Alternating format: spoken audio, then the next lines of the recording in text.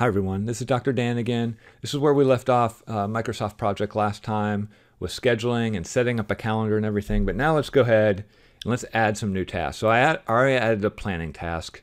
You know, the next thing we did in 245L was some time of cell culture. Okay, so I can add a cell culture task. I'm going to go ahead and do start of cell culture is going to correspond to basically classes start. So I'm going to change that to 828. Okay, and it again gives me this planning wizard. It's going to link them.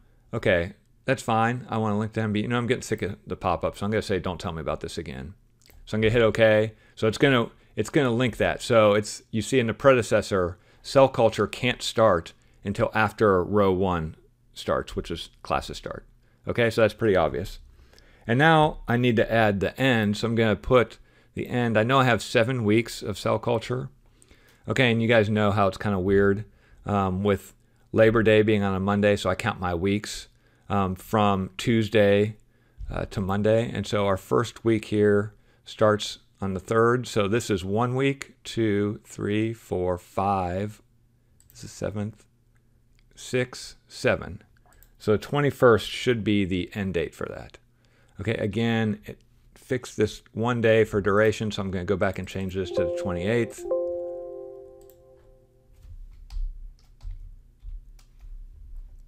And now it correctly gives us 47 days between uh, August 28th and October 21st for cell culture phase.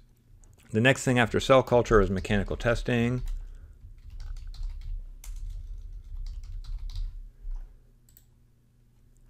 Okay, and so I'm going to set that is starting a week after cell culture. Okay, so it's going to start the 22nd and it's going to go for five total weeks, but Thanksgiving in there might make things confusing. So let's see how this works. One, two on the fourth, three, four, five. Okay, so Thanksgiving is actually 28. So actually, we're going to get all the mech testing done before Thanksgiving. Uh, so I'm going to put the end November 25th.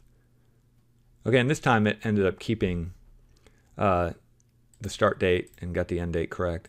Um, and so I'm going to do this manually instead of doing that thing automatically. So the predecessor for mech testing has to be cell cultures done. So I'm going to put a 5 in here. So that's going to make sure that mech testing has to occur after cell culture is done. And then after mech testing, the last phase of the course I'm going to call exam and grading. And now this is going to get a little messy because of Thanksgiving being so late. But I know the end date here is going to be when grades are due. So I can go ahead and put this as a 20th. And then I can go ahead and put a link uh, that grades are due has to happen after exam and grading, right? So I can put grades are due. The predecessor is the exam and grading, which is line 7. So I'll put line 7 in that area. Okay, now I have to think about the start date. Um, and so in order to do this, you know, I might as well use Microsoft Project to help me plan here right? And so a couple of the things I need in this for as far as milestones, I'm going to need an individual exam. I'm going to need the team exam. I'm going to need the exam review session, right? So I'll put in exam review as a milestone. I'll put in the individual exam as a milestone and the team exam as a milestone. Okay, and all these are going to be one days or zero days, sorry, to make sure that I know their milestones. And so if I look at the calendar,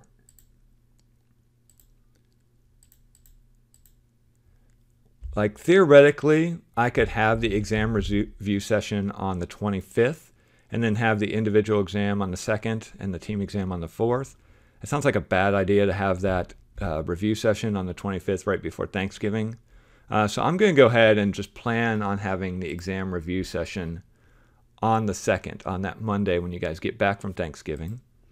And that means the individual exam will happen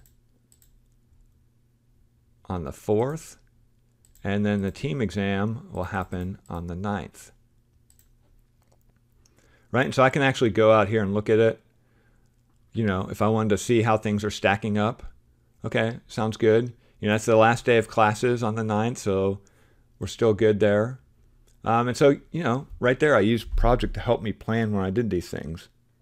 Okay, so at this point, we've kind of scheduled some major milestones. We've scheduled some major phases and even some things going on in those phases. So I'm going to take a break uh, here, and then the next video, I'll kind of show you how maybe we can clean some things up a little bit.